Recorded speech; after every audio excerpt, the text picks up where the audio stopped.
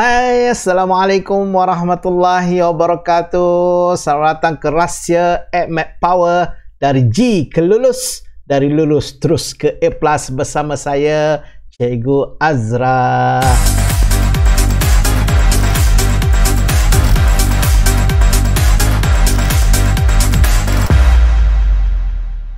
So, hari ini kita akan mempelajari satu sesi motivasi Tajuk dia Rahsia Cemerlang Matematik Tambahan.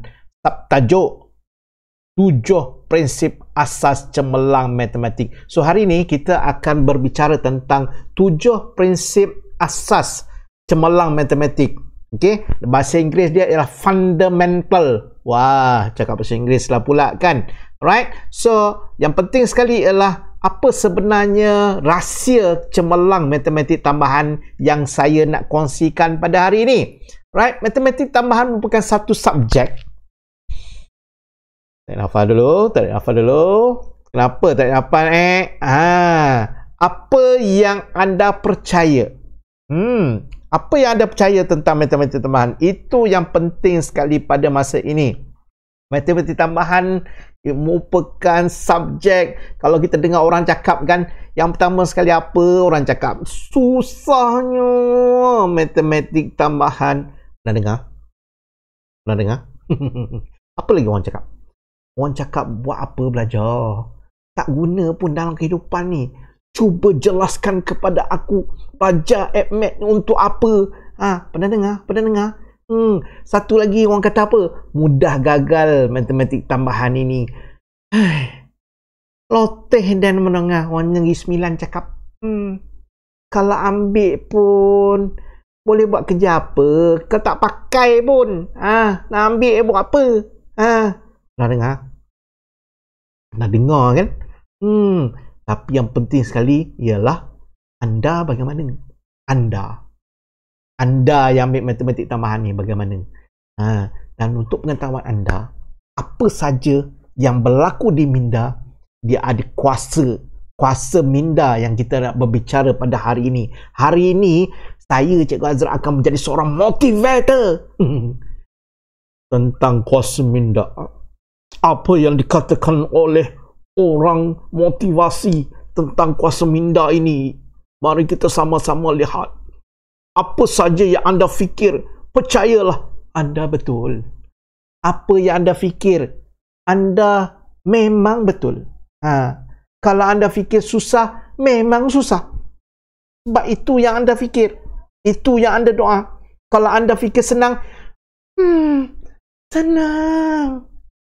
Hai. So, sekarang, apa yang anda cakap? Hmm, hmm. Susah ke senang? Ha, kalau kita nak ambil matematik tambahan, apa yang kita cakap? Pedulikan orang lain cakap apa? Hmm. Alright? Nak cerita sikit. Kenapa kena ambil matematik tambahan ni? Apa rahsianya? Ha, kalau tak ambil, tak boleh ke? Hai, kita tengok video ni dulu. Hmm, video apa eh? Alah, kita tengok je lah. Ini ialah video tentang kehidupan bagi anda sebagai seorang pelajar Okay. Habis saja school, habis saja sekolah, anda akan masuk ke dalam kehidupan ini. Ha, cuba lihat ramainya manusia. Dan dalam ramai-ramai manusia tersebut, akan berlaku berbagai-bagai perkara. Kita kena fikirkan macam mana nak selesaikan masalah. Kita kena fikirkan macam mana nak tambah kualiti hidup orang lain dalam kehidupan. Kita macam-macam kita fikir apabila kita dah masuk masyarakat. Sekarang okeylah. Pergi sekolah kan? Pergi sekolah.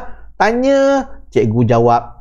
Bagi itu, cikgu akan beri support. Kalau buat salah, kena denda. Ni, ni, ni, cerita ni. Kalau dah masuk masyarakat nanti macam ni. Ha, ada ke orang nak rotan? Tak ada dah.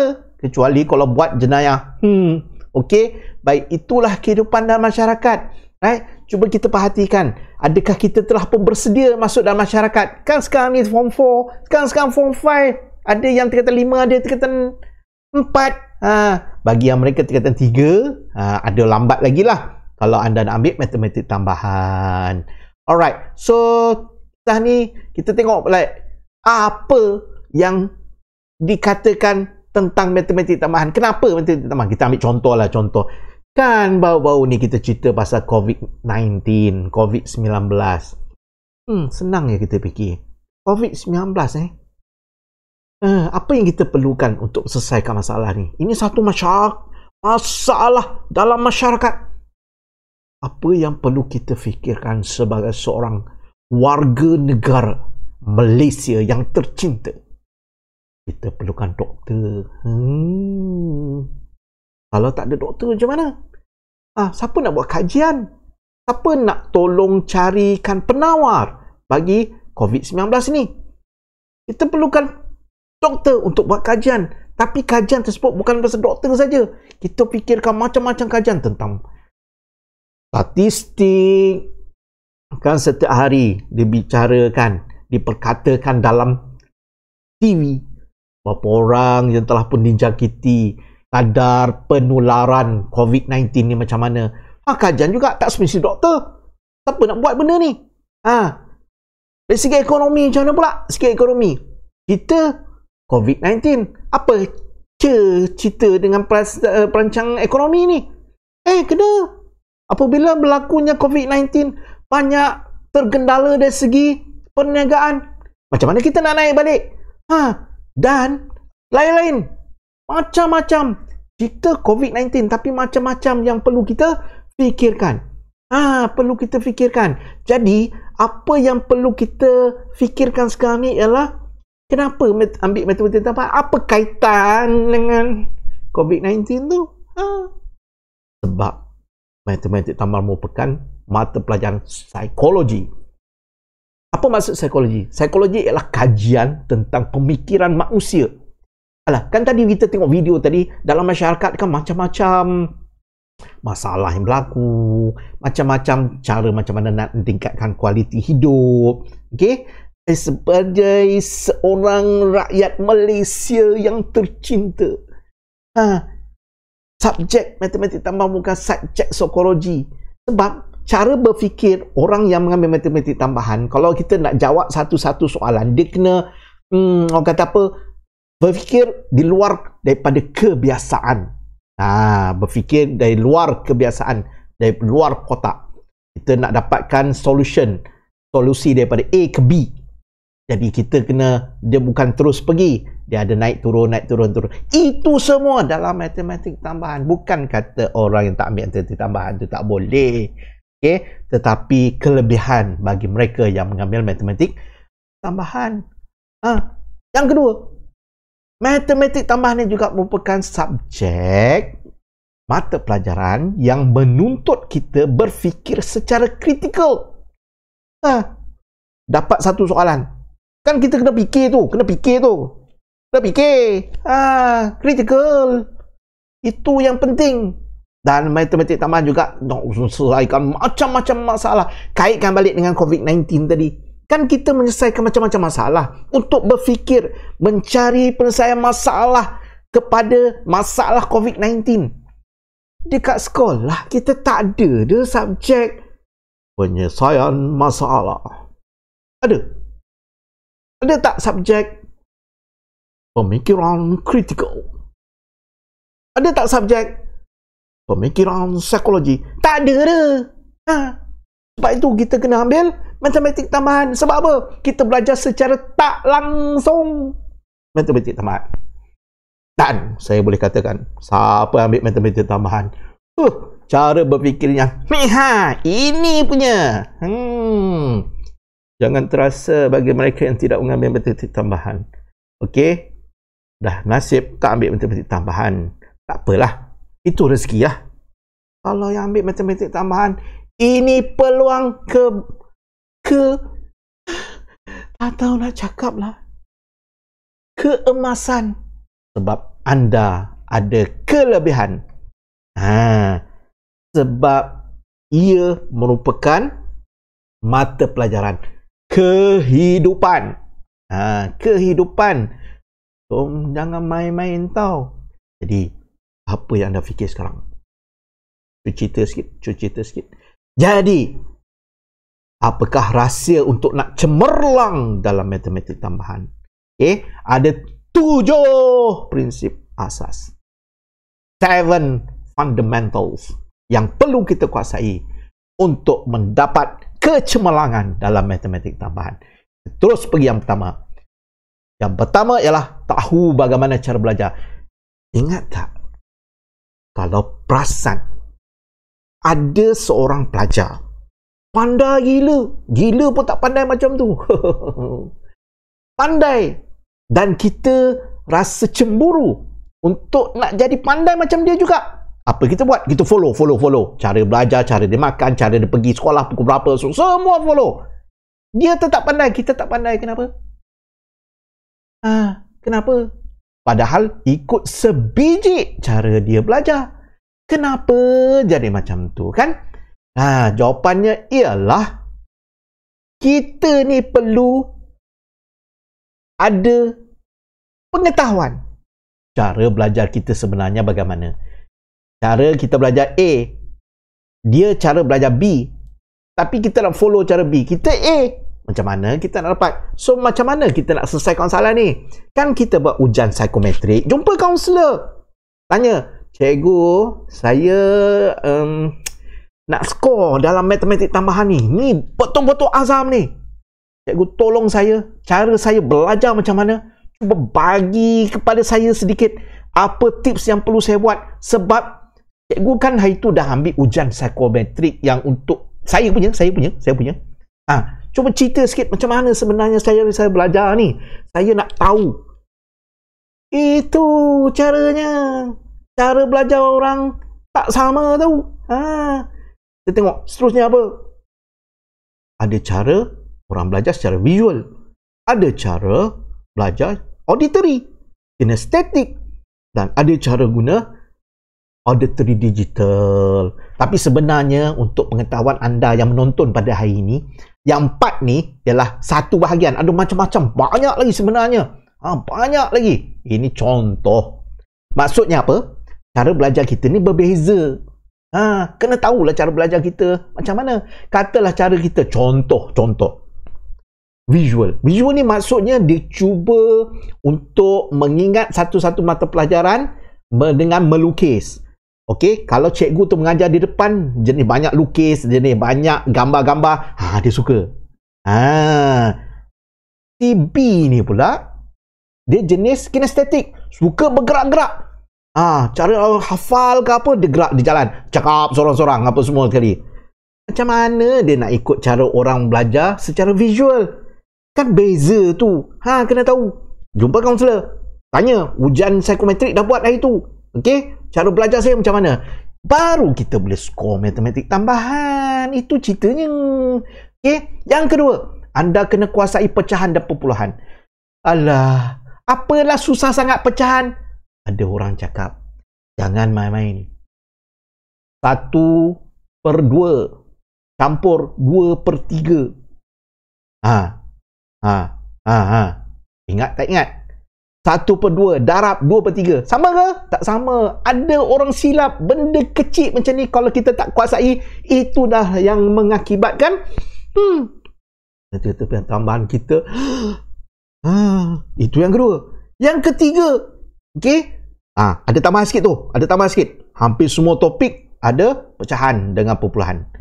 Okey. Kita untuk pengetahuan anda, okey, sebelum kita masuk yang ketiga tadi, ada berapa topik yang kita belajar dalam matematik tambahan. Satu fungsi, dua, tiga, empat, lima, enam, tujuh, lapan, sembilan, sepuluh, sebelas, dua belas, tiga belas, empat belas, lima belas, enam belas, tujuh belas, lapan belas. Hmm, lapan belas. Pecahan tadi, perpuluhan tadi, hampir semua, okey, subjek, subjek yang kita ambil tu, menggunakan ha, pecahan ada, perpuluhan ada. Nombor. Kena kuasai. Ha, ini asasnya. Ini asas kepada kecemerlangan matematik. Tambahan. Ha. Yang ketiga, indeks kena kuasai. Apa benda indeks tu? Indeks, indeks. Alah, ada nombor ataupun uh, pekali ataupun pun boleh ubah. Dia ada kuasa kat atas tu. Ha, itu indeks. Ini perlu kita kuasai. Kena betul-betul. Ha, kena betul-betul. Nanti saya beritahu macam mana nak buat betul-betul. Itu yang ketiga. Yang keempat, kita juga kena kuasai ungkapan algebra. Apa benda ungkapan algebra ni? Contoh, X tambah 3Y sama dengan kosong. Apa lagi contoh? 2A tolak 3B tambah C sama dengan kosong. Alah, bahagian ungkapan algebra ni hanyalah diri sendiri. Okay? Tak payah tanya diri sendiri. Orang maksudnya pelajar tu. Ni, ni, ni, ni. Diri sendiri. Waktu ungkapan algebra. Aduh. Pening, pening, pening, pening. Ungkapan algebra. Pening, pening, pening. Kena kuasai. Kalau tidak, macam mana kita nak skor dalam matematik tambahan tingkatan 4, tingkatan 5. Ungkapan algebra. Okay? Yang tadi, kita luar belajar nombor 2, uh, nombor 3 tadi. Semua menengah rendah. Menengah rendah yang perlu kita kuasai supaya kita boleh skor. Itu ceritanya. Ha. Apa lagi? Ha. Ini lagi satu. Rumus algebra. Alah. Ingat tak? Soalan ni macam mana? Alah. Sinilah. Contoh. 2x tolak 7y kuasa 2 sama kosong. Ha, dia tanya apa? Y sebagai perkara rumus. Jadikan Y sebagai perkara rumus. Maksudnya, kita nak bawa semua yang bukan Y ke sebelah kanan. Kita biar Y sebelah kiri. Itu namanya perkara rumus. Ini bahagian perkara rumus ni banyak sangat dalam matematik tambahan. Sebenarnya, apa yang kita belajar dalam matematik tambahan tak banyak. Tetapi yang banyaknya ialah kita punya penguasaan semasa menengah rendah. Yang kita cerita. Yang kelima dah ni. Ha, yang kelima ni. Okey. Seterusnya, Yang keenam, persamaan serentak. Persamaan serentak. Ah, biasa kan ada dua. Satu kaedah pergantian, satu lagi kaedah ah, pergantian dengan apa? Penghapusan. Okey? Tetapi dalam matematik tambahan, penghapusan, ha, okay, salam sikit lah. Banyaknya penggantian. Ha, kena, kena, kena, kena kuasai. Tolong, tolong. Kena kuasai. Persamaan serentak. Tahu? Ha. Yang ketujuh, kuadratik apa benda kuadratik ni kuadratik alah kuadratik yang macam senyum senyum senyum masam masam masam senyum senyum senyum masam masam masam tu ha kena tahu kena tahu sebab ini bahagian kita ada tajuk apa? Fungsi kuadratik. Kita ada tajuk apa lagi? Persamaan kuadratik. Kan melibatkan kuadratik tu belum lagi kita masuk graf. Graf kita kena tahu. Ha kita kena tahu. Alah yang ada ax kuasa 2 tambah bx tambah c tu Ah, kena kuasai. Jadi hari ini kita telah pun menguasai, okey, mengetahui kenapa kita perlu belajar matematik tambahan. Ingat apabila kita masuk masyarakat nanti tu. Ha, dan yang kedua, kita kena tahu tujuh prinsip asas dalam matematik supaya kita cemerlang. Nak cemerlang ni dalam matematik tambahan. Boleh ke boleh? Jawapannya pasti boleh. Rahsia at Power dari G ke lulus dari lulus terus ke A+. Hari ini bersama saya Cikgu Azra dan insya-Allah kita akan berjumpa lagi jika anda ada sebarang soalan nak tanya. Tinggalkan di bawah. Ada komen kan? Ada komen. Ha dengan bawah. Okey kalau suka video ni bagi thumbs up. Bagi thumbs up. Ha love sikit ke? Bagi thumbs up. Okey yang penting sekali. Dan jika anda ingin mengetahui apa lagi video yang akan keluar, pastikan ada subscribe. Okay? Rahsia at Power. Jumpa lagi.